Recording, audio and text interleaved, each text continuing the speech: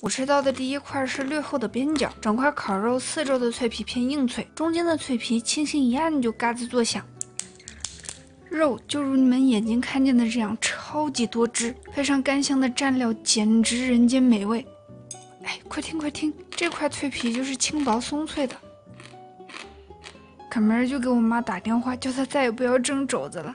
年夜菜是有着落了，不过今年除夕我可能不回家了。但无论身在何处，中国人一年中最隆重的节日，当然不能缺乏仪式感。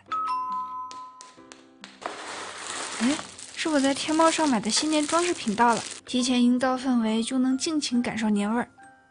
年关将至，柴米油盐酱醋茶，家家都得囤些年货生活用品。买年货当然要买最划算的。嗯，给我姥姥囤一罐爱用的面霜，最近爱穿这种不显腿粗的靴子。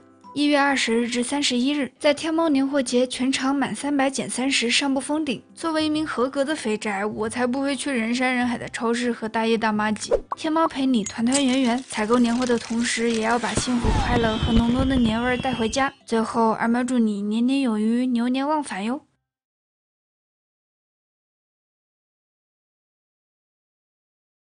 今天是你宅在家里的第天，此刻最想念的美食是。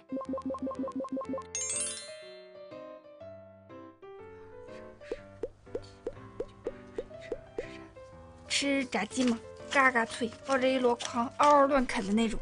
不要老说什么进我的收藏夹里吃灰这种话。等疫情过了，也许你就能化身妈妈的加绒小棉袄，家中的特级大厨呢。今天这款炸鸡特别特别简单，用盐、胡椒、蒜粉调味，做五分钟马杀鸡，盖上保鲜膜，放冰箱腌制一晚。要是感觉一夜不见鸡腿子如隔。